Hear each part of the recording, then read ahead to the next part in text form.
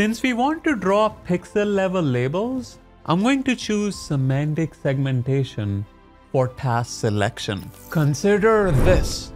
You want to draw pixel level labels for your images so you can create a dataset for training your machine learning models. Can you do this by setting up a semantic segmentation job in SageMaker Ground Truth? Let's find out. Let's start by navigating to the S3 service. Then I'm going to go inside my test bucket. Here, I'm going to upload three images of cats and dogs. Then let's head to the SageMaker service.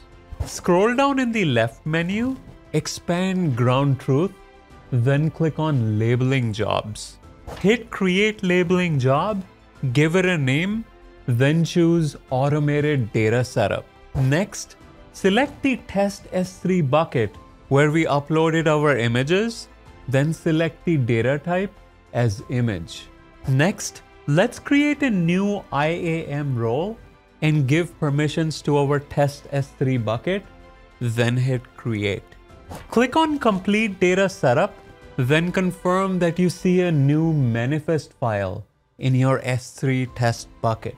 Now, let's scroll down to the task type section and choose image as the task category. Since we want to draw pixel level labels, I'm going to choose semantic segmentation for task selection. Hit next, then choose private as worker type.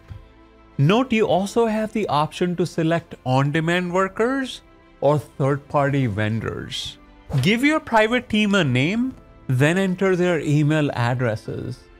I'm just going to enter my email address and leave the task timeout and expiration to their default values.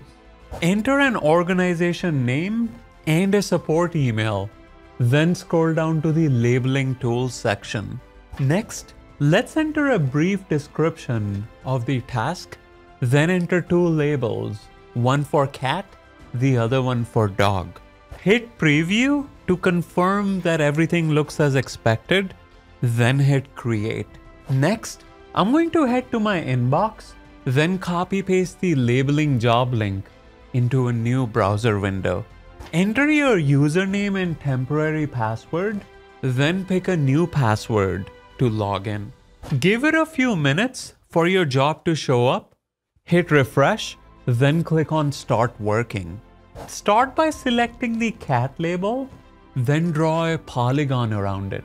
Hit enter to confirm the selection, then select the dog label and draw a polygon around it.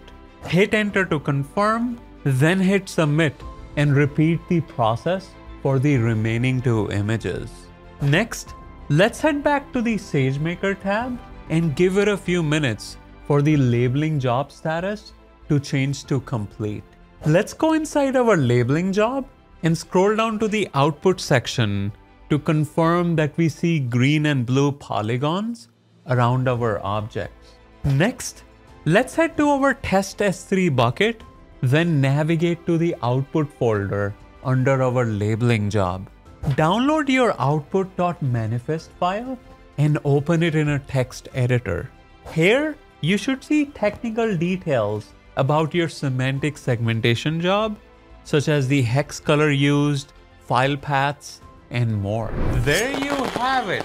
And if you want to learn how to make machine learning predictions without writing any code, check out this video right here.